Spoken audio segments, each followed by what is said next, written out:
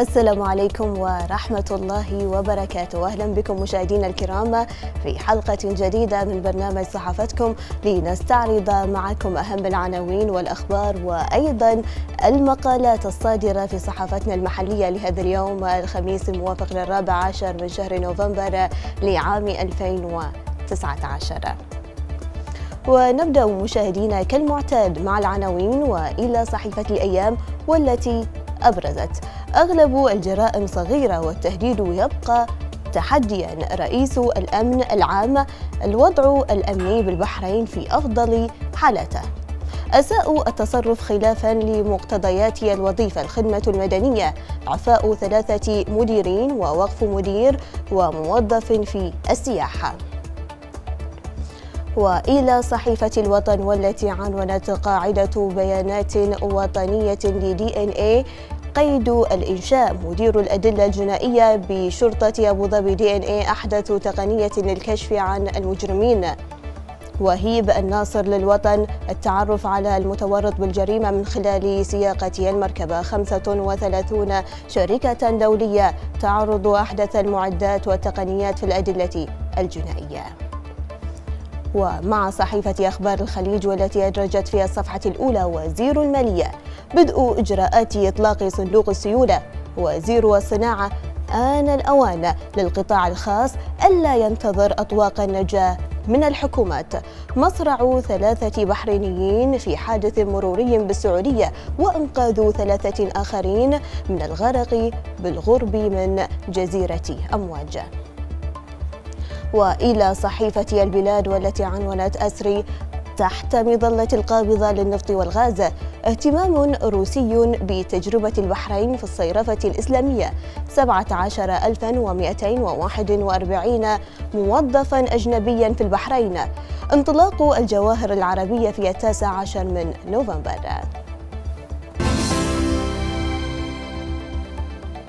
الملف الأهم والأبرز لهذا اليوم مشاهدينا الكرام هو موضوع الذكاء الاصطناعي والتطور التقني حيث لفتت صحيفة الوطن أن القائد العام لقوة دفاع البحرين المشير الركن الشيخ خليفة بن أحمد الخليفة قال إن الموقف الاستراتيجي في المنطقة يشير إلى مدى أهمية وخطورة التطور التقني على الأمن الوطني والدولي وأثر التقدم في الذكاء الاصطناعي على حروب المستقبل.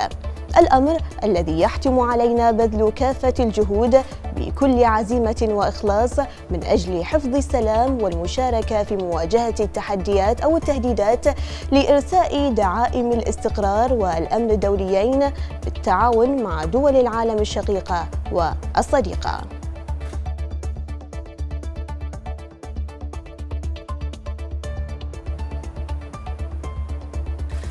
هذا وأكد رئيس الأمن العام طارق الحسن على توجيهات وزير الداخلية على الاستثمار في استخدام التكنولوجيا وتطبيقات الذكاء الاصطناعي لمكافحة الجريمة. كاشفا عن بدء العمل في العديد من المشاريع المختصة بالأدلة الجنائية ومن أهمها قاعدة بيانات وطنية لنظام الدي ان اي وهي مشاريع فعلية وليست معلقة بل هي على أرض الواقع يتم العمل عليها. على هامش مشاركته في مؤتمر أصحاب الأعمال والمستثمرين العرب لفتت صحيفة البلاد أن الرئيس التنفيذي لهيئة المعلومات والحكومة الإلكترونية محمد القائد قال إن تبني البحرين للتحول الرقمي سيعزز قدرتها على مواكبة تطبيقات الذكاء الاصطناعي لما تقدمه الثورة الصناعية الرابعة. من تقنيات مبتكرة مؤكدا على أثر ذلك وانعكاسه على زيادة فعالية وأداء مختلف القطاعات بفضل الاعتماد على التكنولوجيا الحديثة. كما ذكرت صحيفة أخبار الخليج أن وزراء التجارة في البحرين والسعودية والكويت أكدوا على ضرورة توجه اقتصاديات المنطقة إلى التأقلم سريعا مع تغيرات الثورة الصناعية الرابعة واللحاق بركب الذكاء الاصطناعي عبر تعزيز ريادة القطاع الخاص وترسيخ قيم الابتكار والإبداع.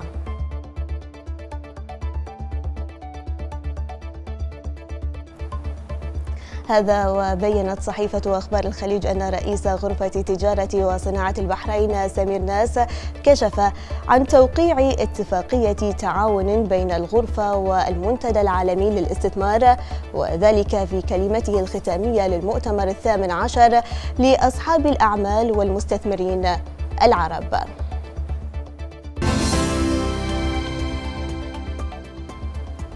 قال المدير العام لمجموعة المشاريع التجارية بمنطقة الشرق الأوسط في شركة هواوي على الشيمي إن البحرين كانت أولى الدول التي اعتمدت على قانون حماية البيانات وذلك وذلك بسبب أثر الدول جاهزية من ناحية البنية التحتية وسهولة الاعتماد للثورة الصناعية الرابعة. هذا ونشرت صحيفة الأيام لقطة جميلة وصورة رائعة تلك التي تداولها المواطنون بكل حب وفخر واعتزاز لصاحب الجلالة الملك حمد بن عيسى الخليفة عاهل البلاد المفدى حفظه الله ورعاه وصاحب العظمة الشيخ عيسى بن سلمان آل خليفة طيب الله ثراه.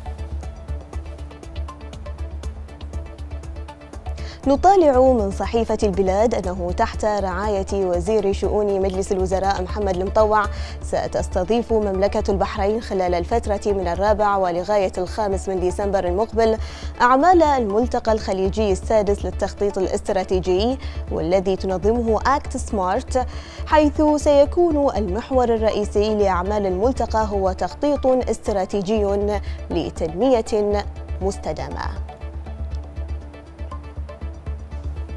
لفتت صحيفة الأيام أن اللواء طارق الحسن قال إنه كما صرح وزير الداخلية الشيخ راشد بن عبد الله الخليفة بأن الوضع الأمني بأفضل حالاته في البحرين وقد عانت الأمور أو عادت الأمور لطبيعتها كما كانت في الأعوام السابقة لكن بالطبع يبقى التهديد الإرهابي تحديا ليس فقط أمام البحرين بل أمام المنطقة بأكملها.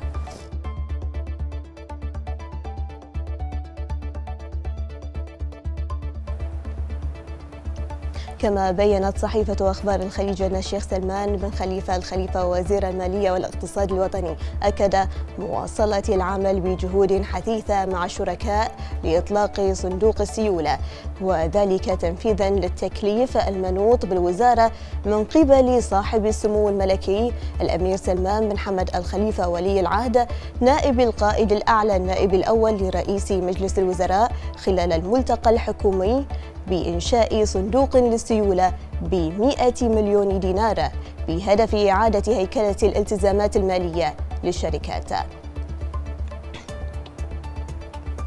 بقلم الكاتب محميد المحميد نشرت صحيفة أخبار الخليج مقالا بعنوان جائزة عيسى لخدمة الإنسانية. فإلى تفاصيل هذا المقال.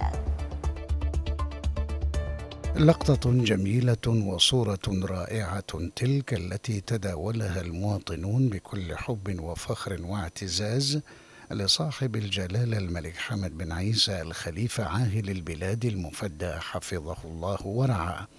وهو رافع يده الكريمة محيا الحضور في احتفالية جائزة عيسى لخدمة الإنسانية. وفي الخلف صورة والد الجميع صاحب العظمة الشيخ عيسى بن سلمان آل خليفة طيب الله ثراه وتغمده بواسع رحمته. واسكنه فسيح جناته هي صورة تعكس الحب الخالد والوفاء الأصيل لدى أهل مملكة البحرين لصاحب العظمة وتقديرا وإجلالا للملك المفدى حفظه الله ورعاه.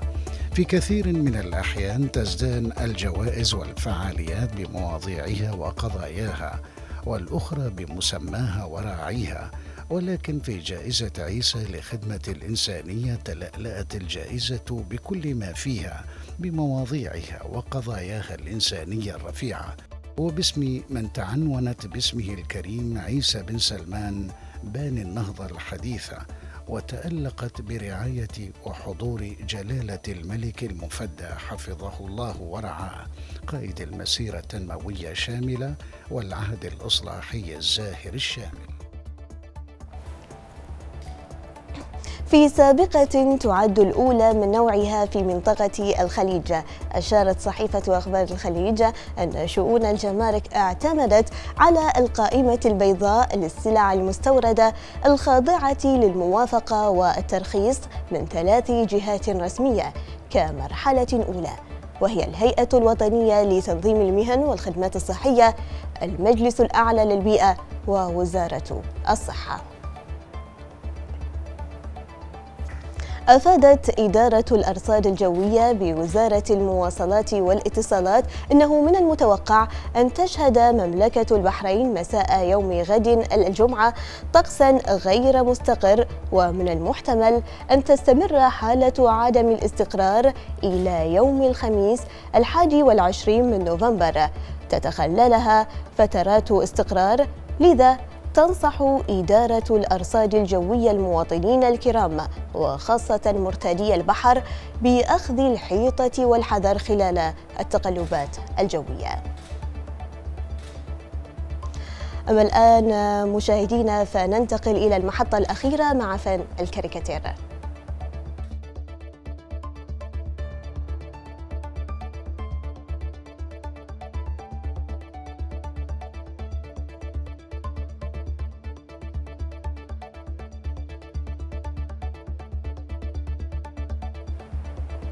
ومن فن الكاريكاتير مشاهدينا الكرام نكون قد وصلنا إلى ختام برنامج صحافتكم لهذا اليوم. تمنياتي لكم بعطلة نهاية أسبوع سعيدة ودمتم في حفظ الله ورعايته. إلى اللقاء.